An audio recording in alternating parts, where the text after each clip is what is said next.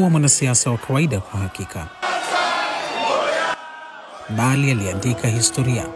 Waziri mkuu ametoa agizo hilo alipofanya ziara ya ghafla katika barabara ya Shikilango na Samnu Nujoma.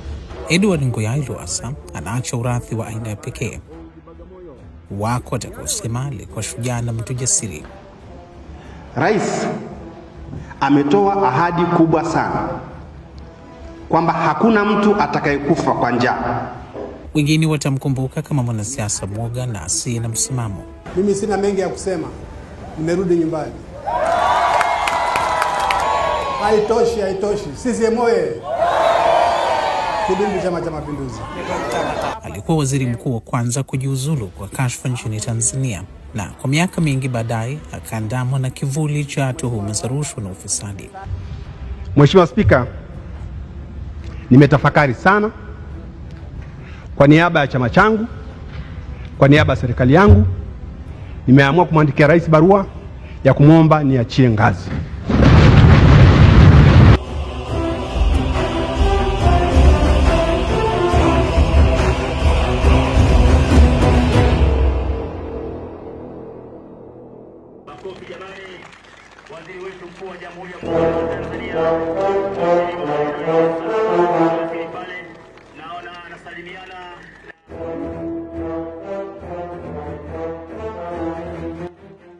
Edward Ngoyai Lowassa alizaliwa Agosti 26 mwaka 1953.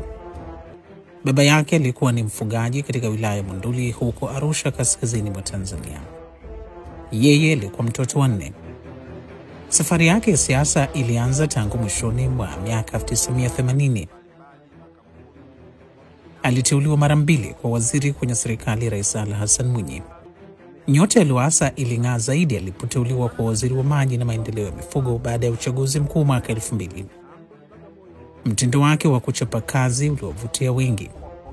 Ufuatiliaji makini wa miradi, kuepuka tabia ya kuwabembeleza watumishi na kuwawajibisha waliokuwa wazembe vilimjengea sifa machoni mwa umma. Alifananishwa wakati huo na aliyekuwa waziri mkuu wa zamani wa Tanzania Edward Moringe Sokoine. Alikuwa miongoni mwa mawaziri waliopachikwa jina la askari wa mwavuli na Rais Benjamin William Mkapa. Kuna wapinzani walikejeli sana tamko hilo, wanasema miavuli gani hii, wamechoka choka hawa. Lakini watazameni Lowassa na Kikwete, wamechoka hawa. Waliochoka wao walio wakikejeli wao ndio waliochoka, na kwa kweli tunavyoendelea kwenye uchaguzi wanaonekana wamechoka kweli kweli. Chalinze oye! Hawa ni watendaji na viongozi na watekelezaji wa majukumu tuliowakabidhi, ambao wanafanya kazi kwa kanuni za askari wa miavuli.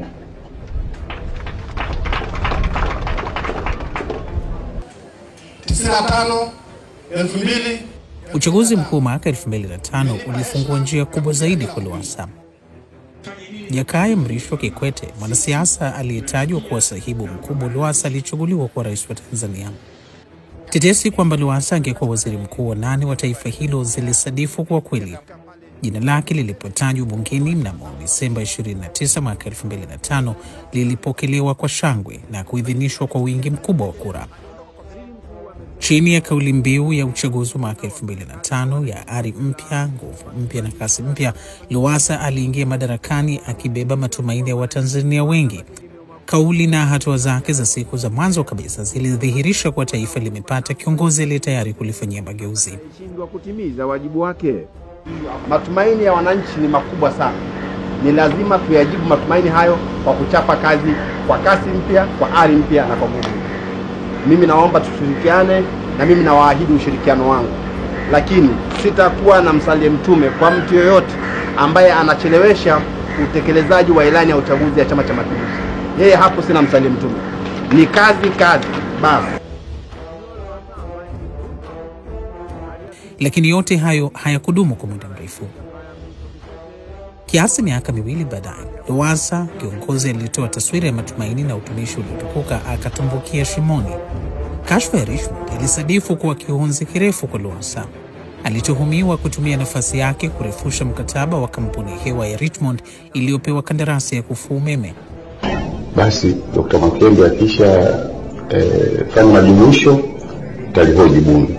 Kamati ya bunge iliyofanya uchunguzi wa kashfa ya Richmond ilisema Lowassa alipouza ushauri wa kampuni ya taifa ya kufua umeme TANESCO na kushinikiza kurefushwa mkataba wa Richmond. Uamuzi huo uliligharimu taifa mabilioni ya shilingi. Kamati hiyo iliyoongozwa na mbunge wa jimbo la Kila Harrison Wakembe ilisema kampuni hewa ya Richmond ilikuwa ikipokea dola laki moja za Marekani kila siku bila kuzalisha hata wati moja ya umeme. Ilikuwa kashfa iliyolitikisa taifa na utawala wa Rais Jakaya Kikwete. Wabunge wa chama tawala na upinzani walitoa michango mikali mikali kwenye ukumbi wa bunge. Ilikuwa dhahiri kwa waziri mkuu aliyeingia madarakani kwa ahadi ya mageuzi asingeweza kusalimika. Hatimaye Februari 7 mwaka 2008 Edward Lowassa alisalimu amri. Lakini Mheshimiwa Spika, nimetafakari kwa makini sana jambo hili, nikajiuliza hivi hasa kulikoni mpaka watu wazima wenye uwezo wao, watu maarufu wenye heshima zao, mpaka wafike mahali waache jambo la msingi kama hilo. Kulikoni? Mimi nadhani have a wish which I'm going to grant ni uwaziri mkuu. Nadhani tatizo ni uwaziri mkuu, kwamba ionekane waziri mkuu ndiye amefanya haya, ionekane waziri mkuu ndiye amefanya haya, tumwondolee heshima au tumwajibishe. Mheshimiwa Spika, nimetafakari sana kwa niaba ya chama changu, kwa niaba ya serikali yangu, nimeamua kumwandikia rais barua ya kumwomba niachie ngazi.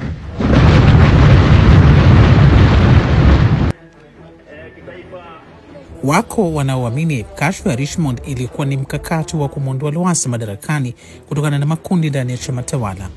Inatajwa lengo lilikuwa ni kumzuia kuwania urais mwaka 2015 baada ya Kikwete kumaliza muhula wake. Juu ya iwapo simulizi hiyo ina ukweli, hakuna anayeweza kusema. Mwanasiasa huyo hakuwahi kufikishwa mahakamani wala kupata nafasi rasmi ya kujitetea kuhusu uhusika wake kwenye kashfa ya Richmond. Mwenyewe tangu wakati huo hadi kifo chake aliendelea kukanusha kuhusika na kashfa hiyo. Kamati ile ya bunge imekwenda mpaka Marekani, ilikuwa na pesa nyingi kweli, sijui walitumia milioni ngapi kwa ajili ya research ile. Walikwenda mpaka Marekani kuwahoji, kutafuta makampuni. Mimi nakaa stone throw kutoka pale ofisi ya bunge na ofisi ya waziri mkuu, unaweza ukatembea. Hawakunihoji kabisa, na kama unanituhumu una kwamba nimesukuma nime sana, ndio maana makosa yamefanyika, uniulize basi, kwa nini nimefanya hivyo. Hawakuniuliza, na baadaye kwenye utetezi wao wakasema ah, kwa sababu kuna mahali alituhumiwa hakuulizwa au hakujitokeza kujitokeza, kwa hiyo hatukuwa na sababu ya kumtuhumu. Mimi I think it was wrong, na mimi bado naamini wenzetu wale kazi ile waliifanya, lakini pengine agenda mpaka naamini ilikuwa ni waziri mkuu. Kwa nimepisha waziri mkuu waendelee na mtu mwingine, na anaendelea vizuri. I'm very happy. Bado nilifanya, niliwajibika kwa makosa yaliyofanywa na watu chini yangu. Ni wajibu wa kiongozi yoyote unayejali maslahi ya watu, lakini vile vile nafsi yangu pia kwamba I'm clean katika jambo hili. Sera ya maji ya mwaka na 91 hilo lakini halikumwondolea mzigo wa lawama. Jina lake liliingia doa ambalo halikufutika kwa miaka mingi. Kila lilipotajwa watu walilihusisha na mwanasiasa asiye mwaminifu, mwizi wa fedha za walipa kodi na aliyelitia hasara taifa. Kashfa ya Richmond imebakia kuwa kovu la maisha ya siasa ya Lowassa hadi kifo chake.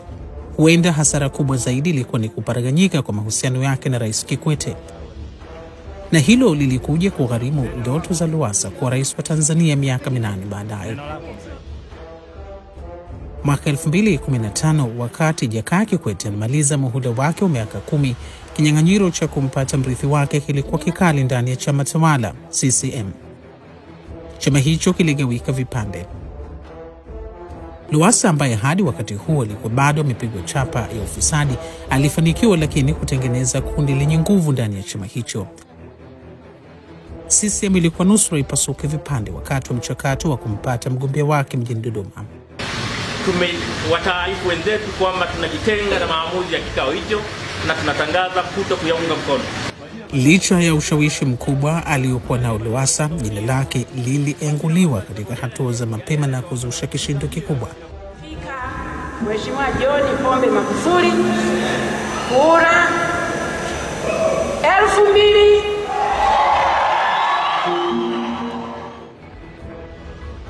Hatimaye lakini John Pombe Magufuli ndiye aliteuliwa kuwa mgombea wa Chama cha Mapinduzi.